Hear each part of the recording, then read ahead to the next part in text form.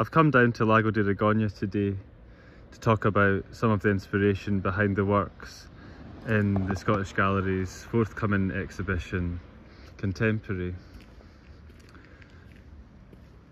The Lago is around a two minute drive from my studio and home, new studio and home in northern Italy, in the region of Friuli.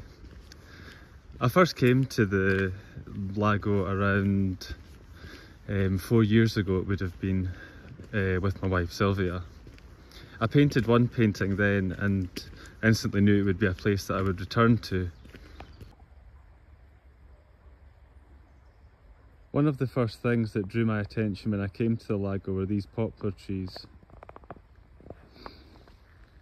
They're not a crop that you see very much in Scotland, but they're quite numerous here in here in Friuli.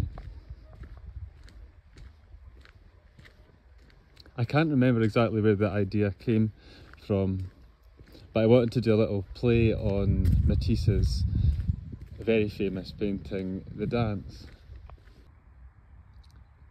People in Friuli really pride themselves on being hardworking. It was one of the poorer regions of Italy until an earthquake devastated much of the region in the 1970s. The subsequent funding brought the region up in terms of wealth.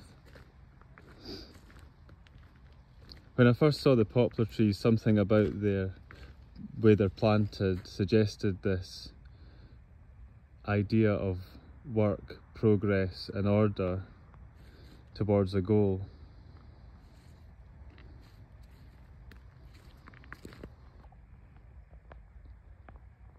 In Matisse's The Dance, he deals with ideas of hedonism, liberation, taking inspiration from primitive art. The rhythmic movement of the dancers in a circle is one that you can't forget once you've seen it.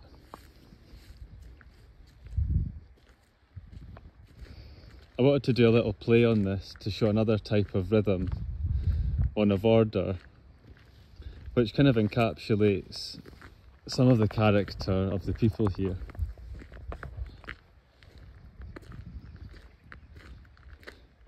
It's another side of the human psyche, I guess.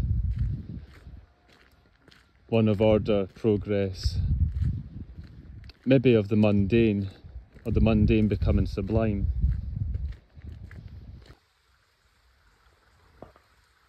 I've moved round to the back of the Lago now this is the view north to Monte Quar.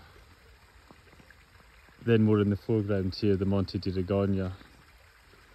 I don't know if you can make it out, but the white heart on the hill there was made by the people of Muris, one of the fractions of Ragogna. Here also is the sign that marks the start of Ragogna.